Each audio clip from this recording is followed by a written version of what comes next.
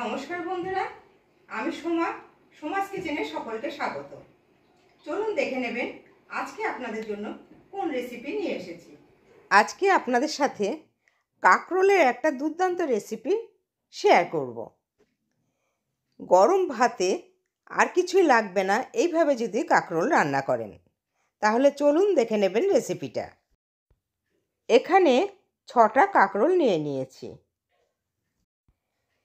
একটা কাঁকরোল নিয়ে এরকম দুটো পান্ত কেটে নেব, তারপর মাঝখান দিয়ে অর্ধেক করে নেব। এইভাবে আমি সব কাঁকরোলগুলো কেটে নেব। কড়াইতে জল গরম বসিয়ে দিয়েছি।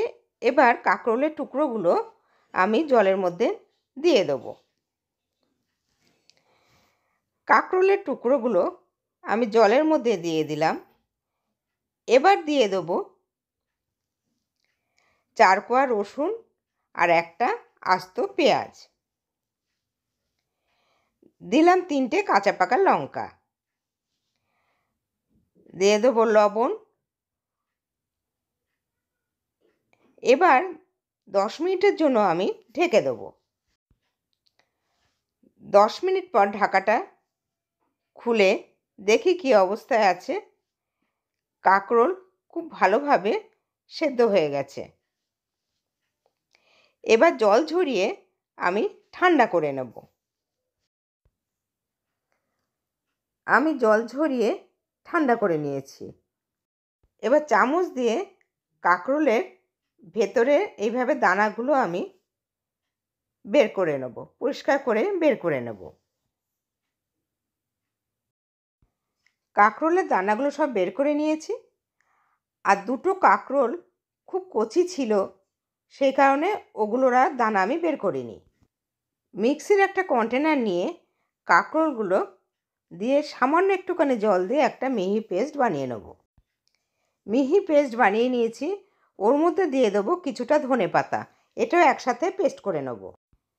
মিক্সির একটা ছোট কন্টেনার নিয়ে নিয়েছি, এর মধ্যে যে রসুন, কাঁচা লঙ্কা আর পেঁয়াজ সেদ্ধ করেছিলাম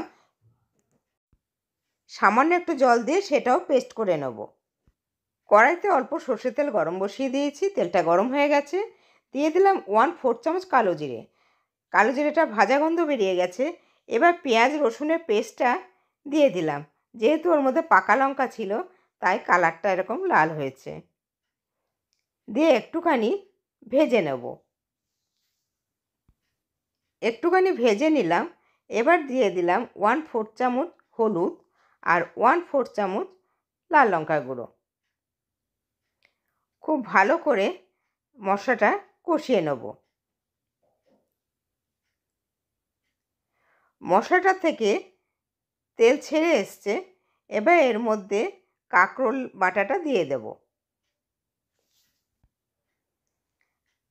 খুব ভালো করে এবার মশলার সাথে কাঁকরোল বাটাটা কষিয়ে নেব। দিয়ে দিলাম পরিমাণ মতন লবণ। ভালো করে মিশিয়ে নিয়ে সমানে নাড়তে থাকব। রেসিপিটি ভালো লাগলে লাইক এবং শেয়ার করবেন। নতুন বন্ধু যারা আমার চ্যানেলটা এখনও সাবস্ক্রাইব করেননি, তারা সাবস্ক্রাইব করে পাশে থাকা বেল আইকনটা একটু প্রেস করে দেবেন।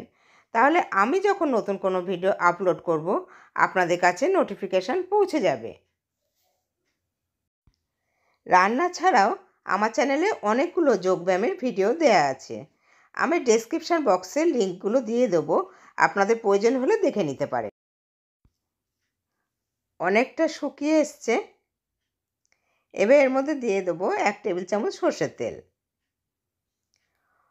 খুব ভালো করে আবার নেড়ে নেব।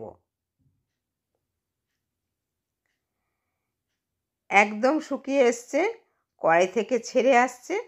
এবার গ্যাসটা অফ করে দেব। তৈরি হয়ে গেছে আমাদের দুর্দান্ত স্বাদের কাঁকরোলের ভর্তা। এইভাবে কাঁকরোল রান্না করলে গরম ভাতে আর কিছুই লাগবে না। আপনারাও বাড়িতে ট্রাই করে আমাকে জানাবেন কেমন হয়েছে। আজ এ পর্যন্তই।